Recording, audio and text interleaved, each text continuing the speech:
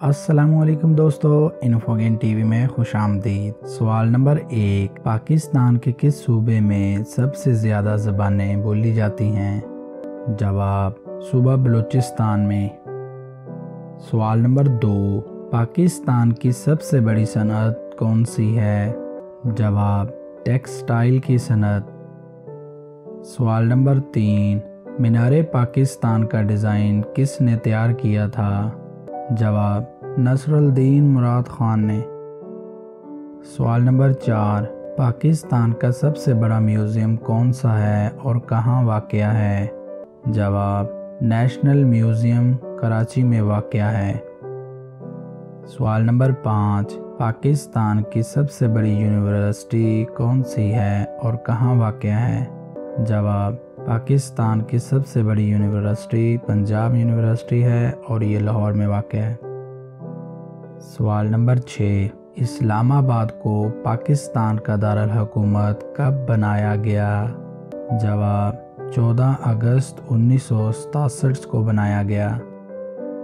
सवाल नंबर सात, पाकिस्तान का नाम कब और किसने तजवीज़ किया था? जवाब जनवरी 1933 में चौधरी रहमत अली ख़ान ने तजवीज़ किया था। सवाल नंबर आठ, पाकिस्तान का सबसे बड़ा पार्क कौन सा है? जवाब, अयूब नेशनल पार्क रावलपिंडी में वाक़ है। सवाल नंबर नौ, आबादी के लिहाज से पाकिस्तान दुनिया में कौन से नंबर पर है? जवाब, पाकिस्तान छठे नंबर पर है। सवाल नंबर दस। पाकिस्तान में पहले आम इंतबात कब हुए? जवाब 1970 में हुए थे।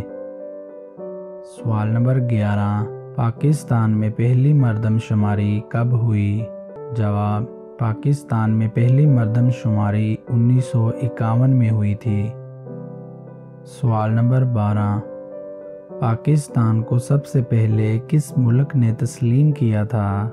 जवाब पाकिस्तान को सबसे पहले ईरान ने तस्लीम किया था। सवाल नंबर तेरह, पाकिस्तान में कितने फ़ीसद आबादी दहायत में रहती है? जवाब, पाकिस्तान में सत्तर फ़ीसद आबादी देहात में रहती है। सवाल नंबर चौदह, पाकिस्तान के पहले चीफ जस्टिस का क्या नाम था? जवाब, पाकिस्तान के पहले चीफ जस्टिस का नाम सरदार अब्दुल रशीद था। सवाल नंबर पंद्रह, पाकिस्तान का सबसे बड़ा पन बिजली घर कौन सा है? जवाब, तरबेला पन बिजली घर सबसे बड़ा बिजली घर है। सवाल नंबर सोलह, पहले पाकिस्तानी का नाम बताएँ जिसने नोबल इनाम हासिल किया। जवाब, प्रोफेसर डॉक्टर अब्दुल सलाम ने सबसे पहले नोबल इनाम हासिल किया। सवाल नंबर सत्रह पाकिस्तान के डिवीज़न्स की कुल तादाद क्या है?